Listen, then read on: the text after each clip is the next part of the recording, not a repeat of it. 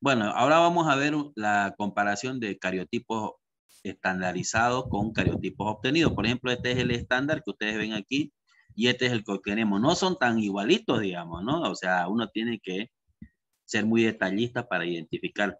Pero ahí está el centrómero, fíjense, el centrómero, esta es la alineación centromérica que sirve para hacer eh, un, buen cariotipo. Vamos a ver algunos complementos cromosómicos en humanos y animales domésticos. Veamos algunos. Esto es un cariotipo de humano. Esta es una célula en metafase. Así yo les voy a dar, así ustedes tienen que ordenarlo. Siempre yo les decía, se sigue por ejemplo, eh, eh, el estandarizado en, en humano es de que los primeros cinco pares estén en el grupo A, este es un grupo A. Este es el grupo B del 6, del 6 al 12. El grupo C es del 13 al 18. Y el grupo eh, D del 19 al 22. Y los cromosomas sexuales de último. Se pueden poner aquí o se pueden poner aquí. Entonces ese es el estándar, como ustedes tienen que ordenarlo. Y ahí van a identificar las alteraciones. Aquí está, por ejemplo, el cariotipo de un hombre. Fíjense. Se puede poner al lado derecho o se puede poner los cromosomas sexuales al lado izquierdo. El X y el Y. Entonces, hombre, ¿no? Entonces, primero 5, del 6 al 12, del 13 al 18 y del 19 al 22 van en el, grupo D. A, B, C y D. Cada cariotipo estandarizado tiene una forma de agruparse. Ustedes tienen que agruparlo en base a, esa, a ese estándar. Vamos a ver, sigamos. Esto es de una mujer, fíjense, aquí están, aquí los cromosomas, aquí los cromosomas sexuales, al final.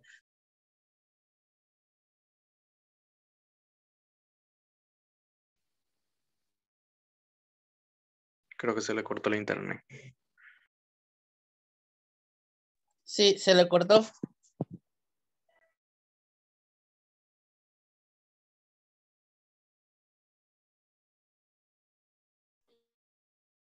Doctor, su micrófono no está encendido. Ya. Este es el cariotipo de una mujer que yo le decía. Este es el cariotipo de un bovino. Así van a obtener ustedes los eh, las células en metafase, ustedes tienen que ordenarlo. Por ejemplo, aquí está, este es el cromosoma X y este es el cromosoma Y. Así más o menos yo le voy a entregar y ustedes van a ordenarlo. Seguimos, a ver. Así tendrían que ordenármelo ustedes. Fíjense, par 1, o sea, grupo A, perdón, del 1 al 8. Del 9 al 16 el B, del 13 al 24, del 17 al 24 el C y el D del 25 hasta el 29 y los cromosomas sexuales de último. Entonces esa más o menos es la, la forma estándar de hacer en bovino, en bovino. Este es un bovino macho que cambiaría solamente los cromosomas sexuales. Aquí tienen, fíjense, esa es la forma como se ordena. Aquí está la alineación centromérica. Entonces la forma como ustedes lo van a ordenar. Por supuesto, esto yo se lo voy a pasar sin ningún problema.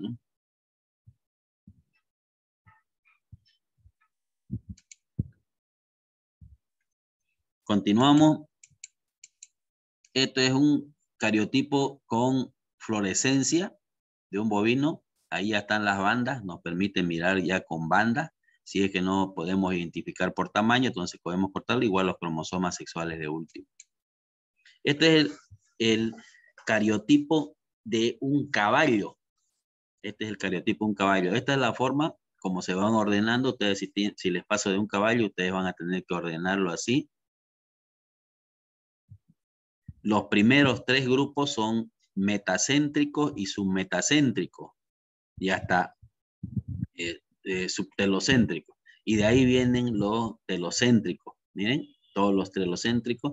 Y los, el último par, el último, la última fila son acrocéntricos y los cromosomas sexuales. Entonces, 1, 2, 3, 4, 5, 6, 7 grupos. A, B, C, D, E, F, G hasta G tienen ustedes grupo en el caballo. Se lo puede armar así también, digamos, ¿no? Pero ese es el estándar. Aquí tienen con bandas, con las bandas. Fíjense las banditas. Entonces, las bandas le ayudan para organizar mejor un cariotipo. Aquí están las bandas clásicas. Desde el grupo 2 está hasta el último grupo. Y los cromosomas sexuales con su banda en caso de que hubieran hecho con una técnica citogenética con bandeo cromosomático. El del burro, por supuesto, si el, si, si el caballo tiene 64, 64 tiene el caballo, 64 pares, el burro va a tener 62. Tiene 62. Y la mula va a tener 63. O sea, es una mezcla del, del caballo con eh, el caballo con la, con la burra o eh, la yegua con el burro. Lo más común es que se pise la yegua con el burro, porque si el caballo la pisa la burra, la, le, lesiona la, la, columna vertebral. Pues entonces, pero de todas formas se, se llama, eh, se llama mula o macho se llama cuando pisa el burro a la yegua y burdegano cuando el burro monta la yegua, que es muy poco común porque generalmente se hace con, a través de inseminación. Entonces tiene 62, entonces el híbrido, o sea, la mula va a tener 63. Eso va a tener la, la mula.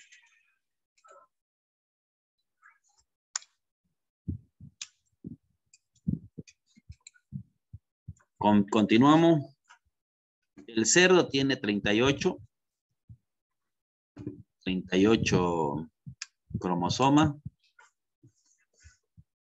Y eh, ustedes está la forma de ordenarse, el par 1 al par 5, del par 6 y 7 es el B, el 8 al, al 12 es el C, el D es del 13 al 18 y los cromosomas sexuales al final del, eh, de la fila número C o de la fila 3. Eh, se puede, eh, también hay cerdos que tienen 40 cromosomas, son algunas especies, pero generalmente los 38 son el, común en el, cerdo doméstico, el sujet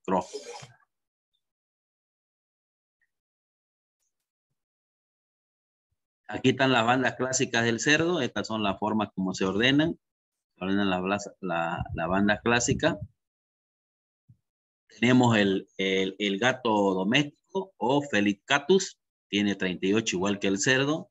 Esta es la forma como se, acomodan sus cromosomas. Si ustedes ven, hay diferencia con respecto a, esto. Fíjense, las formas son diferentes, ¿no? Eso es lo que ustedes tienen que identificar para no confundirse. Aquí todos son entre submetacéntrico, metacéntrico y solamente el último grupo son telocéntricos. El grupo único y sin embargo acá, fíjense, de telocéntrico ustedes tienen uno, dos, tres, cuatro, cinco pares. Entonces por eso tienen que aprender a diferenciar. Está el, eh, gato, este gato macho con banda fluorescente. Ese es el cariotipo. El gallo tiene su cromosoma, 78 cromosomas tiene la gallina, pero la diferencia es de que tiene ZZ. Los cromosomas sexuales no son X y Y, son ZZ. Fíjense, ZZ. Z con Z. Y eh, el, el, género opuesto es una sola Z. El perro tiene 78 igual que la gallina, es difícil ordenarlo porque son casi la mayoría del mismo tamaño. Fíjense, no hay mucha diferenciación en tamaño y, forma. Entonces es complicado hacer un cariotipo de cerdo, pero se puede hacer, hay que ayudarse con el bandeo cromosomático. Este es un macho eh, X y Y, entonces no hay mucho problema ahí en, el perro. Este es un humano, está mal, esto es un humano, también se ordena así, fíjense cómo está ahí igual de un humano. Esto es una, eh, es una flore, es un, un fluorescente eh, hecho por eh, hecho por, por un por un proceso de, de, de, inmunofluorescencia, de fluorescencia para aplicar los cromosomas para que se pueda identificar mejor.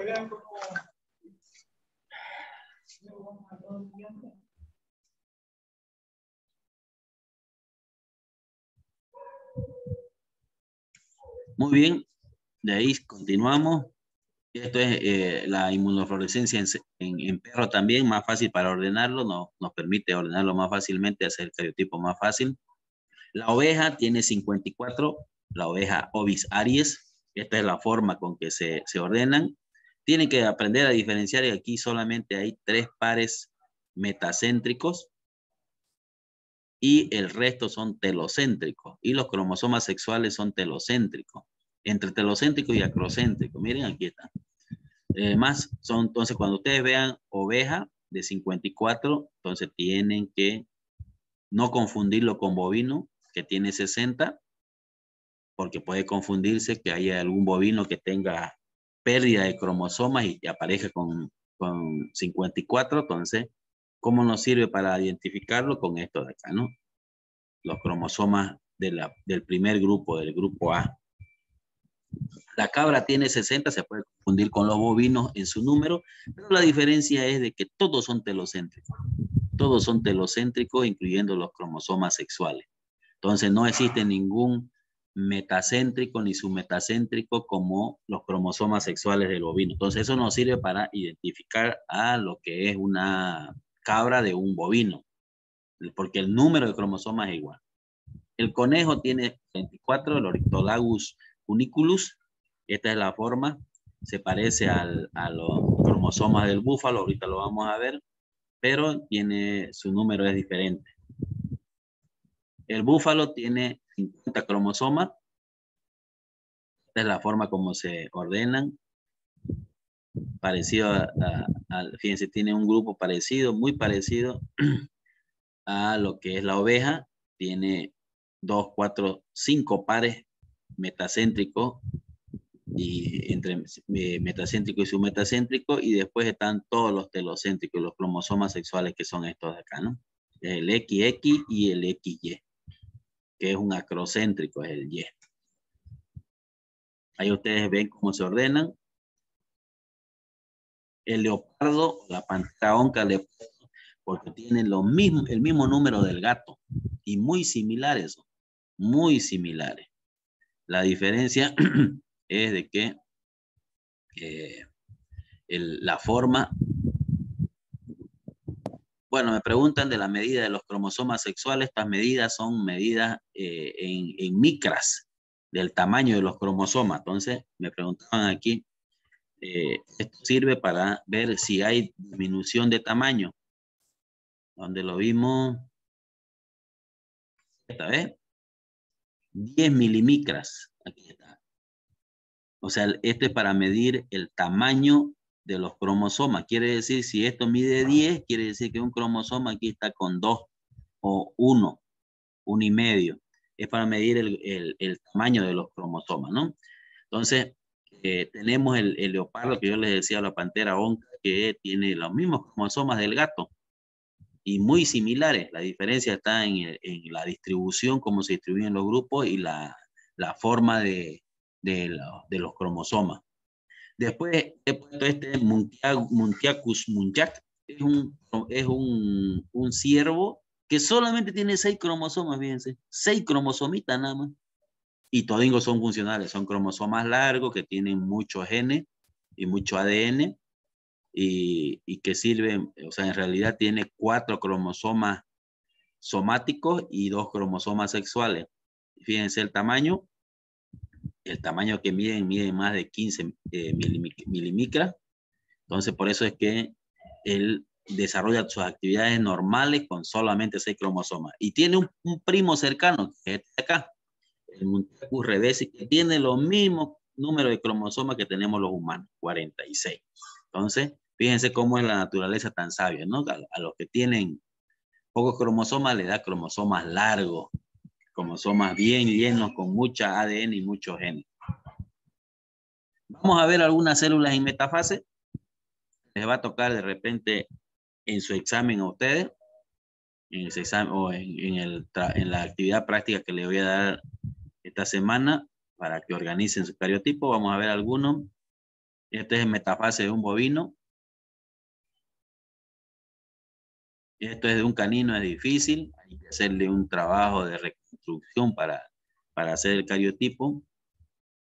Este es un caballo, un equino, un micronúcleo. Un micronúcleo quiere decir de, es que es de un, de un cromosoma que se perdió y que se hizo como un pequeño núcleo, micronúcleo se llama. Y aquí está el, el equino. Es la mula, muy parecido al equino, la diferencia son de que tiene un cromosoma menos, en vez de tener 64 tiene 63. Búfalo. Y ahí hemos finalizado con esta presentación eh, del, de, la, de los cromosomas.